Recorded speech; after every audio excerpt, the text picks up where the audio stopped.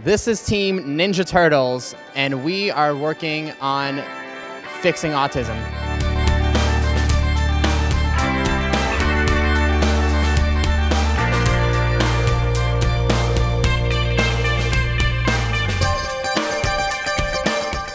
Uh, the most interesting one does sound like one that's in this area of trying to detect uh, neural activity.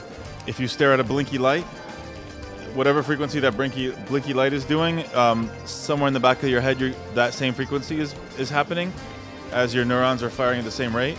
So we should be able to kind of hear your brain or like detect that your brain is mirroring the same rate that the blinky light is going at. We're using the facial tracking capabilities to help with training uh, different emotional states in uh, different individuals who have difficulty recognizing those emotional states and expressing their own emotions. People interested in open source bionics are hacking into the hand and using EMG signals to control the robotic arm as a prototype of a 3D printable prosthetic. So there's someone making a robotic flower that blooms as your meditation practice improves.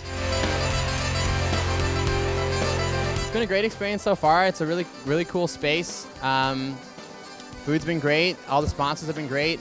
The amount of hardware has been amazing. There's just so much here to play with and tinker with. Uh, I just wish we had more time.